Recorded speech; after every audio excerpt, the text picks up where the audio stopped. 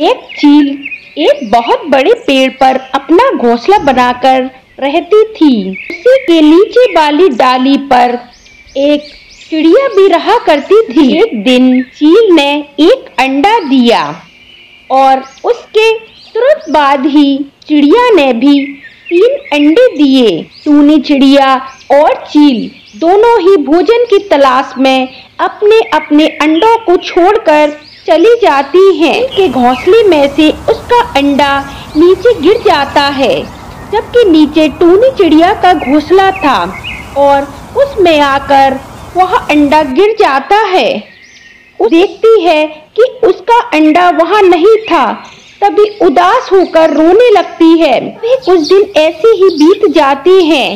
उसके बाद टूनी चिड़िया के अंडों में से अब बच्चे बाहर आ जाते हैं। अब टूनी चिड़िया के तीन बच्चे बिल्कुल एक जैसे थे जबकि चौथा बच्चा उन सबसे अलग था। उस बच्चे को भी अपना बच्चा समझकर उसे पालने लगी। अब टूनी चिड़िया के बच्चे थोड़े थोड़े बड़े होने लगे थे और चारों बच्चे घोंसले में से निकलकर वहीं खेल रहे थे। तभी चिड़िया यह तो मेरा बच्चा है। लगता है आंधी चलने की वजह से मेरा अंडा तुम्हारे घोंसले में गिर पड़ा था। अब मेरे बच्चे को मुझे दे दो। क्या कैसा बच्चा?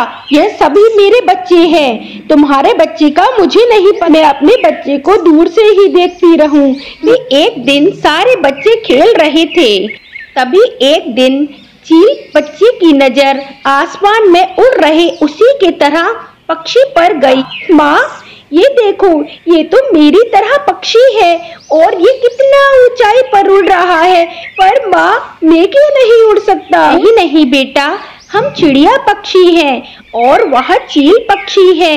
हम उन जैसा नहीं उड़ सकते। यदि तुम उस जैसा उड़ने की कोशिश करोगे तो वहाँ से गिर जाओगे। वह बच्चा कभी भी ऊंचाई पर नहीं उड़ सका और और फिर अपनी सारी ज़िंदगी चिड़िया की तरह ही गुजारने लगा।